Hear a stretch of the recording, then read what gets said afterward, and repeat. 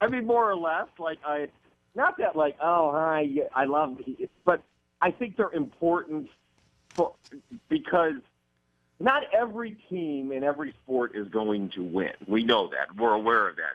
But the the crime you cannot commit, and the Pistons had been in the act of committing it for several years, uh, was losing and being boring, or losing and not being compelling, or losing and not having an attraction. And I'm not saying you don't go get a star and just say, "Hey, that's it. Here's our star.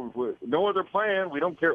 Well, no, but until you figure out how you're going to win, and Stan Van Gundy is still struggling to figure that out. Uh, having a star, now I'm not calling him a superstar, but having a star pretty much in his prime is a damn good start, or, or at least a, I won't call it a distraction, uh, but because that's going too far. But you do have to have something to build around. I still don't know exactly what the plan is per No, se, no. but there is something to start with. But Woj, you used to always scold me for getting all caught up in oh, flashy names, flashy players, and that's exactly what Blake Griffin is. Well, yeah, flashy names, flashy players if they're 35 years old and no longer uh, effective. Um, like, you know, I, I don't know if you guys have had, but me and the little bogey kid in the evening, we got all these texts about this is dumb. This is just like when the Pistons got Allen Iverson. No, it's not. No, that that was done for a good reason, actually, too. That was to get the salary dump Right. was in the last year, and he was had nothing left per se. He was wasn't he thirty three or thirty four, whatever. Um, so it's not like that. And and believe me, I'm not I'm not caught up in the awe of this. I- just think it's um, it's important to have somebody to get you through. Like, like last night, I was at the Palace for the um, the Pistons played the Cavaliers, and the Pistons with a stunning victory. Okay, just snap the eight game losing streak. But early on, you know, eight game losing streak, a ragtag lineup because Griffin wasn't in yet, and all the crowd was doing was oohing and eyeing at everything LeBron did. LeBron, you know, sizes up a three and nails it and dunks. And I know LeBron is special, but tell me the last Piston that made you ooh and ah. And and and, and I feel guilty saying this, but I'm going to say it. Tobias Harris and Avery Bradley were really nice guys and nice players and did decent things in their short time here. Did they ever make a single play that you went, ooh, oh, oh? No, the last player that really did that was Grant Hill, probably. And maybe occasionally Drummond. Uh, you yeah, know, when, I when Drummond and Reggie are kind of working the two man game, they can do some good stuff for sure. But now, eh, but now I can hear the the back. Like, oh, Woj just wants oohs and ahs. He doesn't want wins. Well, no, of course you want wins. But I think it was pretty clear. And, and when I spoke with Van Gundy last week, I thought he made it pretty clear that there had to be something else. That uh, he didn't say it wasn't working as is, but we knew it wasn't working as is. Avery Bradley was probably going to leave, or they certainly weren't going to pay him that much. He was a bit of a disappointment here. Um, so, in the absence of a bunch of good players rising together, uh, you rise the level with one guy and, and see what follows and who follows. And who knows, maybe young guys like Stanley Johnson and Luke Kennard can rise with him. Yeah, I, I just here's my thing, and, and you did sit down with Stan last Friday in a stroke of either good luck or bad luck because the trade came out obviously on Monday night. We had a long Q and A with him. Um, it, it just does reek of a guy who is, yeah, I'm I'm I'm at wits end here. It's not working, so uh, let's just, let's try a hail mary. And you know, next next year's GM and next year's head coach might not be named Stan Van Gundy. And then what's he left with? That's the part of it that I'm not thrilled about. But I guess there's a defensible part of that as well. Well, yeah. Um, when people ask me, um, what, do, what do you think of the trade, the Blake Griffin trade? What do you think? What's your first impression? And this is what I've been saying. Um, what's a blank? I mean, yeah, what's a blank? Yeah, I And he know. Said, well, that's that's not a strategy. That's not a plan. I said, well, technically, no, but I, I do think that you guys are the great arbiters. Tell me if I'm allowed to think this. This is what I think. can I like the move?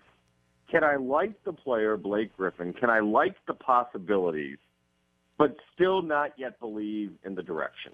Yeah. Yes, and you can actually hate the trade even if you like the player. I mean, because they're going to be Okay, that's true too. because they're going to have what 78 of their 108 million dollar salary cap tied up with three players next year, and it even gets worse. Uh, the last year, Reggie's contract.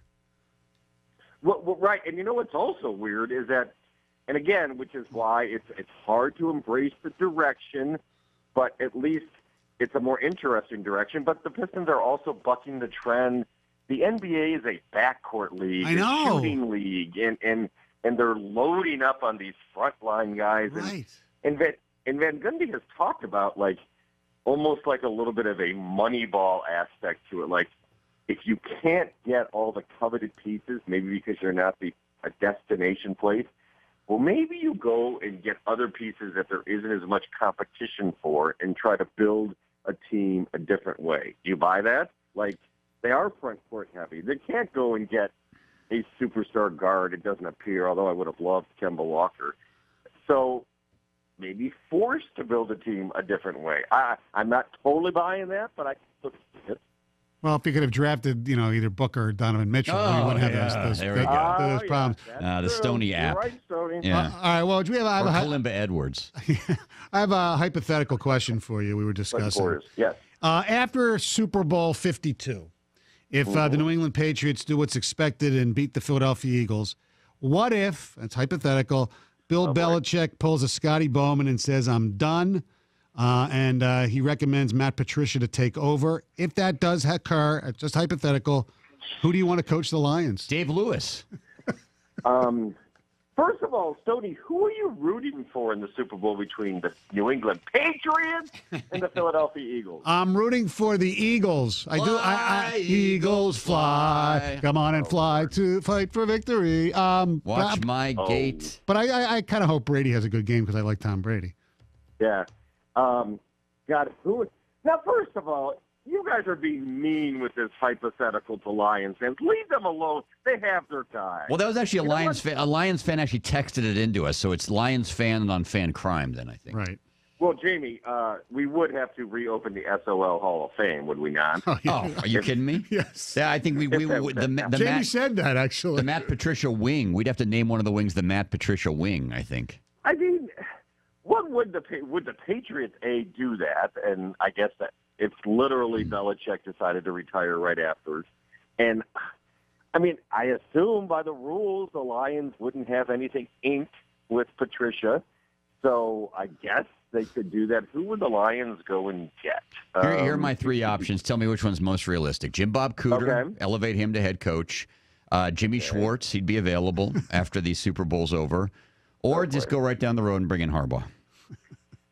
Sure. Or what? Uh, Rod Marinelli has had a good year, a good uh, Yep. uh, run with the uh, Dallas Cowboys. Why not go Listen, get it, him back? it's happened before. I mean, it happened in other like teams, sports, where a coach is a coach for a team, and like Mike Riley was the coach at Oregon State, came back Billy to Oregon Martin. State.